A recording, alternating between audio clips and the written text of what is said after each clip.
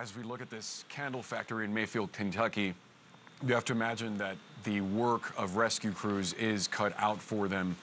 Uh, again, we are anticipating hearing Die Rettungskräfte sind hier noch voll im Einsatz bei dieser Kerzenfabrik in Mayfield, Kentucky. Es ist ganz klar, dass der Sturm ganz schreckliche Auswirkungen auf das Gebiet hier hatte, insbesondere auf das Gebiet in Mayfield, Kentucky. Für diese Gegend ist das ein verheerender Tag. 110 Menschen sind getötet worden, die während dieses Vorfalls in der Kerzenfabrik äh, sich aufgehalten haben, sind getötet worden dabei. Aber das, was wir hier sehen, ist nur das, was übrig ist von der Kerzenfabrik. Das ist ein regelrechter Ground Zero. Es ist geebnet, das Gebäude.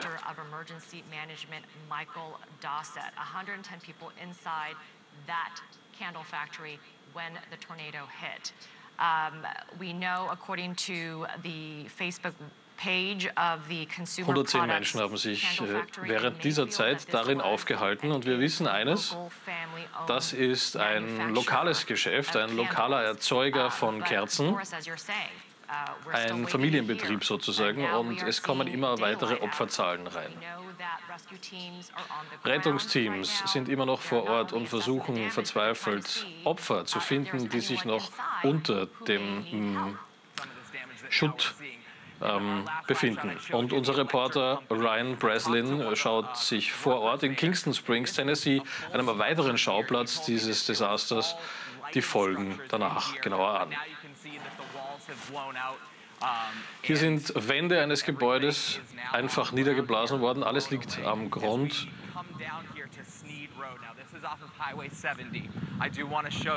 That we'll go somewhat down the road. I'm going to make sure that my photographer Thomas Davis is safe right now as we're walking because it is muddy out here. Mir ist schon auch wichtig, dass es unserem Kameramann Äh, gut geht und er den Dreh hier überlebt. Es ist ziemlich schlammig hier.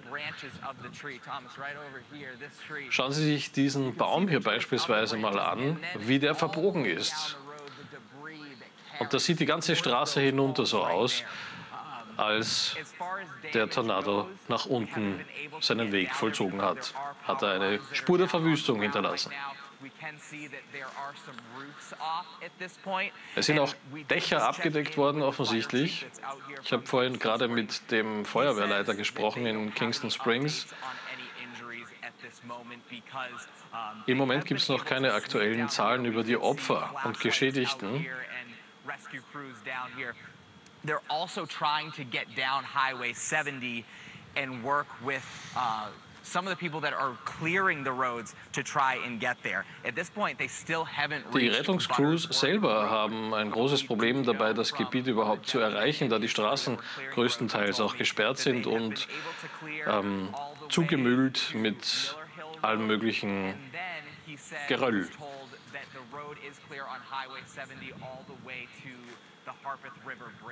Once again, though, just take a look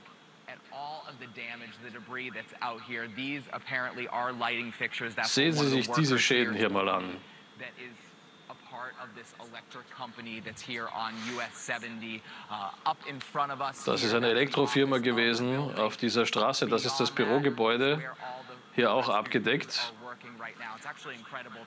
Und etwas weiter vorne arbeiten die Rettungskräfte im Moment gerade. To people that are in different areas of Kingston Springs right now, trying to figure out where there's damage, who needs some rescues, and who needs help at this point. Lauren.